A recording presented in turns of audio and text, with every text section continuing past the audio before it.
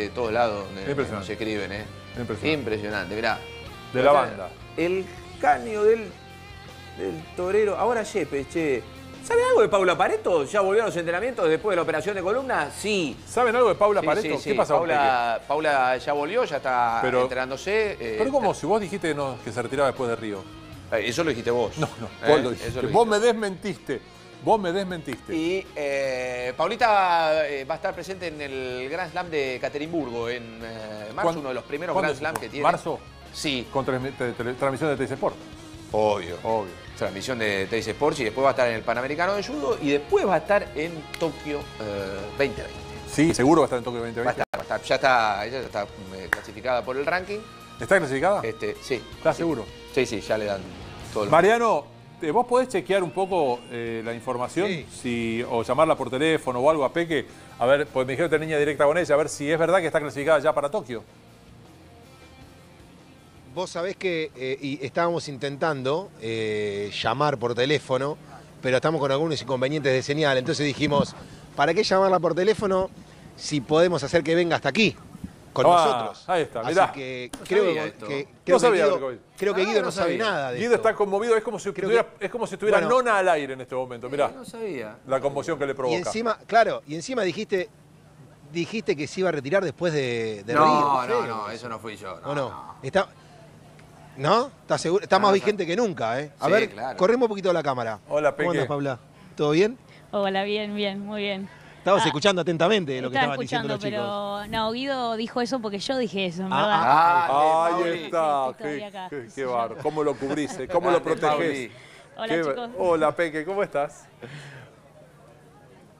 Bien, muy bien. Bueno. Acá, arrancando el domingo. Eh, lo- Ya lo dio para comer y todo. pero sí, eso, sí. eso lo- lo- eh, siendo alguien tan profesional del laburo y profesional del deporte, eh, ¿comés libremente, Peque, vos? Sí, libremente dentro de ciertos parámetros, pero sí, no, la verdad es que eh, tengo varios permitidos, pero después las antropometrías me dan bien, así que puedo decir que estoy bien. Y fuera de los permitidos, debe ser que las cosas las hacemos eh, correctamente, así que sí, puedo. Hoy domingo aparte es el más permitido que nunca. Sí, yo le sugiero entrar en las redes, en Instagram de Peque y ver algunas de sus últimas historias para ver eh, en cámara rápida sus últimos entrenamientos en la arena y demás y enterarse por qué Peque puede comer lo que tenga ganas, ¿no? después de semejante esfuerzo. Eh, porque pasa el, pasa el tiempo, pasa el tiempo y vos no parás de buscar cómo estar de la mejor manera posible.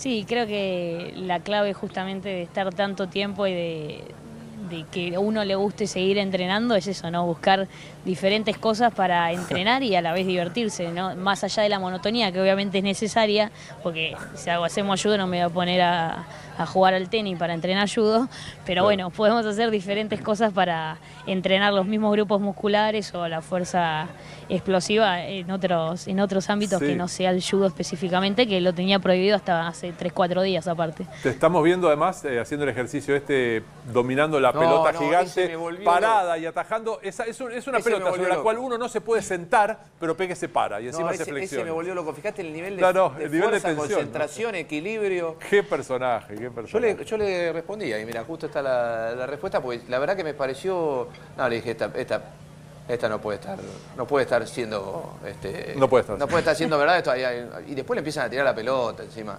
Un delirio, un delirio. Peque, eh, Guido recién dijo que estás clasificada para Tokio, ¿eso es verdad?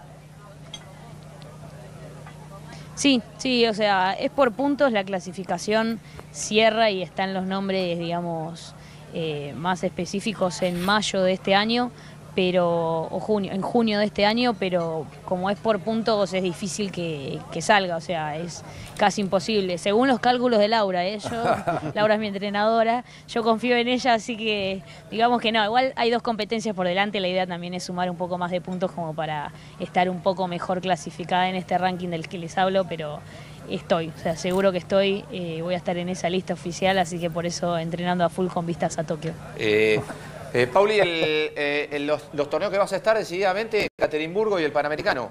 No, no, no se suma nada antes de Tokio. Exacto. No, la idea es esos dos. Después veremos cómo nos va y cómo me siento y cómo va el tema de la recuperación de la cirugía y, y ahí decidiremos. Pero la idea es lo mínimo indispensable para entrar en ritmo de competencia, que hace mucho que no compito, así que tomarlos como entrenamiento y que lo más importante en el año obviamente es Tokio, es llegar bien ahí, es donde llegaría bien desde el punto eh, al 100% desde lo físico y desde lo mental. Peque, en, en el 2012 vos llegás, bueno, al 2008 a Beijing vos llegás con otra expectativa, era otro país, era otro nuestro trabajo inclusive, no estaban todo el tiempo las cámaras atentas, después de Beijing viene Londres y vos llegás a Londres muy agotada física y mentalmente, eh, no obstante lo cual, perdés la de bronce en Londres casi de la misma manera que la ganaste en Be- Beijing, no es que saliste vigésima. Pierde bronce en Londres con una regla que ya no existe. Exactamente. Eh, hubiese seguido. Y, y después llegás a Río muy concentrada, muy metida en tu universo. Y, y bueno, y están los resultados a la vista. ¿De qué manera sentís que vas a llegar a Tokio? Es decir, eh, otra vez metida en, ese, en esa ultra concentración de Río, casi ensimismada, más relajada. ¿Qué es lo que imaginás?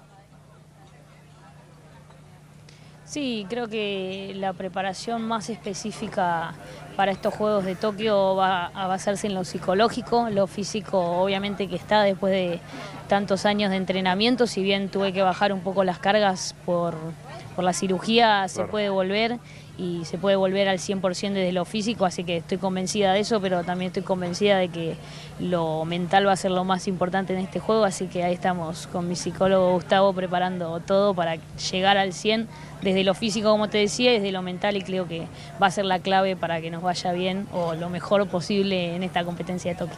Muy bien. ¿Cuándo, Bueno. ¿cuándo es la próxima guardia? Mañana, Mañana. cerquita. Mañana. Ahí Paula aparece siempre con anteojos, lista para entrar a, a quirófano. Este, a mí, vos sabés que siempre me resultó raro eh, qué le dicen los amigos de la guardia. Si están, eh, sos, sos la, la campeona olímpica, sos la doctora ahí, este, ahí está, ¿ves? Estas son las imágenes. Estamos viendo a pantalla partida tus imágenes, ¿eh? ¿Qué te dicen ahí tus compañeros? ¿Se meten un poco en el mundo del judo o no? Sí, hay alguno que me viene, me pelea, quiere hacer lucha. después No, no, no, que no lo haga, no, no, no. la gente si me conoce. No, qué tipo. que- No, no, ya lo lo han hagan. hecho. Pasa No. que esas cosas después no las filmamos porque Claro, está mal. Claro. No corresponde. Aparte lo tenés que atender nunca. vos después. Sí, no, Claro, además no Mariano, conviene. Mariano, compañeros de la Guardia, nunca se olviden, a mí ya me lo dijo Peque, se lo dijo a Guido, si Gonzalo hace fuerza, lo voy a lastimar. o sea, no sean idiotas. Claro. Que Peque, tiene, Peque tiene un juramento hipocrático en la medicina y en el judo, no puede hacer lo suyo fuera del tatami. Claro, claro. Por favor, no la busquen. Bueno, Gonza, eh, Lo Gonza tenés mi- prohibido, lo Gonza tenés es mi prohibido. ejemplo de que se puede, o sea, que a cualquiera puede, Cualquiera puede caer. uno haciendo judo, no, no es necesaria. Exacto. O sea, el que hace judo no, no es una cuestión de fuerza, ni de estatura, ni, ni de nada. Es una cuestión solo de saber hacer la técnica, porque es un segundo que pasa el otro por arriba. Si uno hace bien la técnica, no tiene por qué lesionarse. Esta semana nos acordábamos de eso. De- ¿Cómo que lo tiraste? Me dice, sí, sí. Bueno, vamos ¿De a una caída de cosa. Bonadeo? Después hay un una- video caserito de uno de los chicos del hospi también. Hacerle- Que es pesado así, es alto y gigante como, como Uy, ese Gonzalo. video, claro. ese Hacerle- video habría que ver. hacer una pregunta, Bueno, Guido, yo lo vi, y yo, yo ya yo mismo te le vi, doy a la yo te producción. vi tirar a, te vi tirar a Toto también, a Toto Campos, te, lo- te- te he visto tirarlo en, en el entrenamiento. Le mandamos un beso a Toto que está decididamente ya involucrado en, eh, bueno, tratar de fomentar talentos patagónicos para el judo argentino. Así que le mandamos un beso grande a Héctor también. Ahí ya, eh, ya lo tiene, lo tiene la producción, eh, la maldad está... En instante vamos a mostrar ese momento de Peque Pareto, un momento Sí. célebre de Lo, Peque. lo están buscando. Esto fue previo no, no, a Río, yo previo lo- a Río. Eh, en espere, el- yo lo tengo guardado en mi teléfono. en el cenar. Ese es de los videos que más he mostrado ante, Ah. mi, ante mi gente conocida y gente desconocida. Es decir, Peque Pareto, 48 kilos, me dio vuelta Sí. como si fuera un trapo. Eh, vos estabas más gordo incluso que ahora. Y este, no sé si te dolió la caída o. No ¿te porque, a caer? no, porque Peque me dijo, Gonzalo, lo que tenés que hacer es agachar la cabeza y mirarte el ombligo, si no te vas a desnucar. Ah, agachate me Ok, verdad, listo. Hay que saber ¿Viste caer. ¿Cómo le quedó? Lo importante le queda. Absolutamente. Sí, sí, sí. ¿Qué te parece? Es verdad, ahora sonó fuerte la colchoneta del cenar. Eh, ¡Pum! Sí, plaf. Cuando, Sí, sí. caen- cuando caen los pesos pesados. Fue tirado en el colchón. En el colchón. No podía ver tatami porque podía doler. Dijo, no el tatami te puede doler, mejor hagamos el colchón. Ahora, po- Y eh, recuerdo, Berkovich podría animarse, ya que sabe tanto de judo, podría animarse, sí, ya ¿no? lo A- invitamos. A, a un lo combate, invitamos a- Guido, ¿o no? Lo invitamos problema. a que Acá lo también estamos viendo, mirá. eh, se anime a una clase con nosotros. Me acuerdo, pará, Gonza, que vos a los dos, tres días más o menos me escribiste. No sé por qué, pero me duele todo el cuerpo. Fíjate cómo te agarra Acordate, ella. ¿Cómo te- hacen ustedes para entrenar siempre y no les duela? Mira, Peque, Un poco de práctica nomás. Además, la imagen No Peque pasa nada. me, me- me este da año vuelta. lo probamos con, Con Guido, Guido. claro. obvio. Es como que me acompaña por las dudas, Peque, ¿viste? Me, me, me Te sujeta deja como si hasta fuera- último momento, te sostiene como decir, este, este hombre se me desarma. Ahí está, ¡Bum! Al diablo. Ahí está, Peque Pareto. Muy bien, así tiene que ser la vida. De eso se trata, está muy bien. Por favor, con Gin, todo. Con- exactamente. Es Gini. impresionante. Sí, sí, sí, el judogi de- del Toto De Campo. Toto, de Toto, muy Eh, bien. Peque, te dejamos. ¿Qué pediste para, para picar ahora? Contame. No, para picar no, ah, fui directamente a- al plato principal, una ensalada de salmón me pedí. Qué Muy bien. Varias cosas más. Qué rico. Te dejamos empezar a picotear un poquito. Casi, casi, lo que, casi como yo, ¿no? Eh, para, para, para que, para que acá me- No, después de, de- va, coman un poquito, lo dejamos comer y en el segundo encuentro eh, tenemos que hacer un acuerdo. ¿Un Público. acuerdo? Público, sí, tenemos que, tenemos que buscar un sustituto para ¿De las hamburguesas. Tenemos que buscar, vayan pensando un sustituto para las hamburguesas. Bueno, eh, ella eh, es Tranquilo. es cultora de la comida Un sustituto para las hamburguesas. Pero además, tranquilo, dame un tiempo, no nos avancemos. Peque Claro. pidió ensalada de salmón, eso ya es una punta. Es verdad, es verdad, es verdad. Eh, ya es una punta. Ya, ya, ya es un ya volvemos con ustedes.